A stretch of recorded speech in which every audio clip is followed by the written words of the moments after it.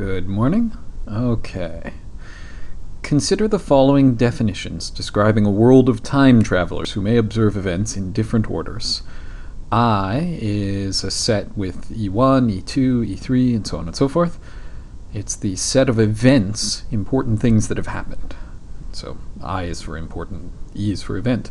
Uh, and these are particular events, but we're not getting names for the events or anything, just E1, E2, E3. P, uh, which is Adric, Ben, Clara, Doc, and so on and so forth, is the set of people. OBS order Pij means person P observe that event I occurs before event J. And before ij means event i actually happened before event j. At pi means person p was at event i. And met pq means person p met person q.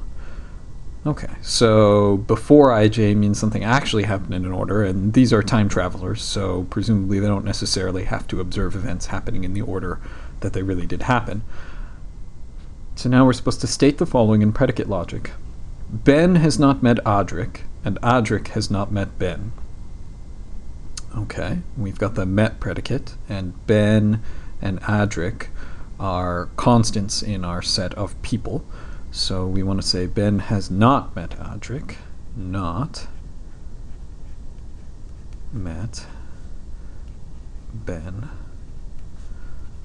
Adric, and Adric has not met Ben. Not met Adric Ben. Okay. Clara was at every event. Okay, so we want to say Clara was at, so she's the person, P.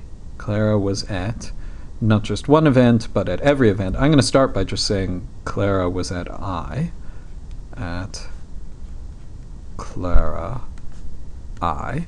And now I need I to end up being universal because I want it to end up being every event. So for all I in the set of important events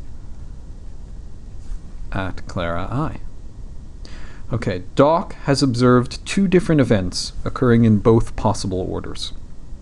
So he's observed some event happening before another, and he's also observed the second event happening before the first. So we can just write that first, and then we'll figure out how to say that they're two different events. We'll just say they're I and J to start with. So obs order doc, I before J, and obs order doc J before I. Okay, so now we need to say I and J are events, uh, and they're not going to be every event. We're not saying he's observed every event occurring in both possible orders. Uh, there's just going to be some events, uh, but we need them not to be the same events. So first of all, we need them to be some event, and second of all, we need them not to be the same, so not equal to each other. Let's just start with that, and i is not equal to j. So i and j are events that are not equal, and this is actually in our idiom chart when we want to say two different things, or at least two things. Uh, and exists an I in I, exists a J in I. So now we say there's an I and a J in the set of important events, such that I is not equal to J, so there's an I and a J that are not the same.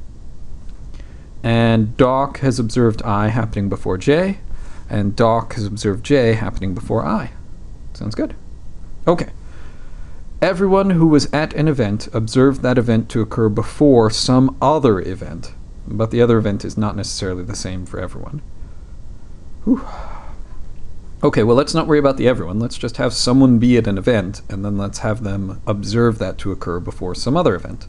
So some person was at some event, and they observed that event to happen before some other event observe order P I J.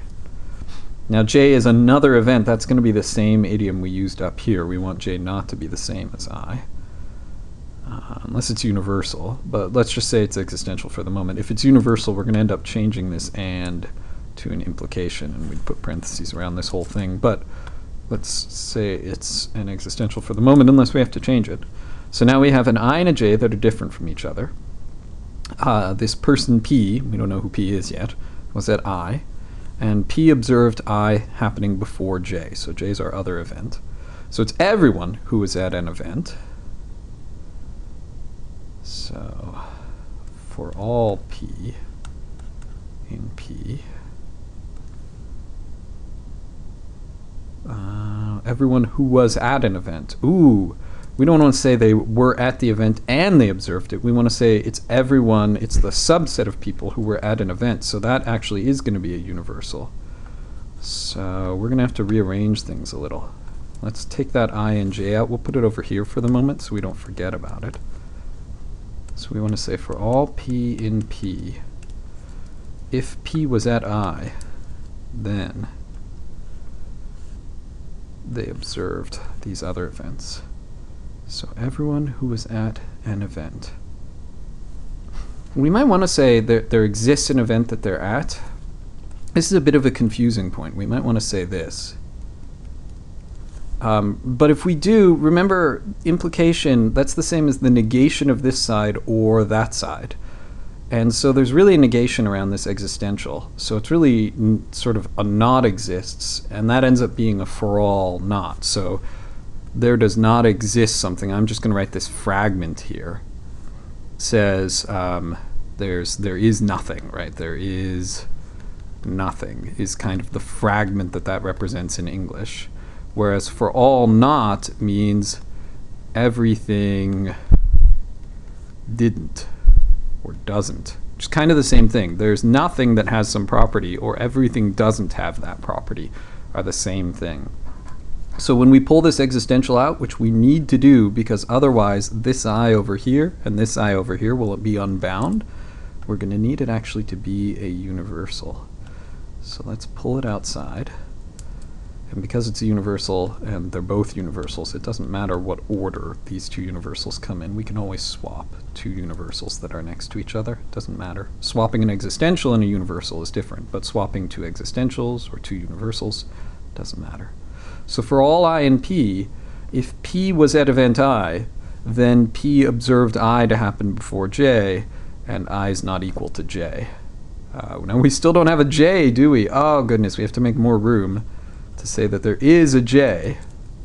So at p i implies exists j in the set of important events such that j is not equal to i and p observed i before j. So altogether that says consider any event, any person, if that person was at the event. So for every event, uh, for every person that was at any event, there is some other event, some other event that they observe, the person observed to happen afterwards. And that says they observed I to occur before some other event. Okay. Looks like we've got it.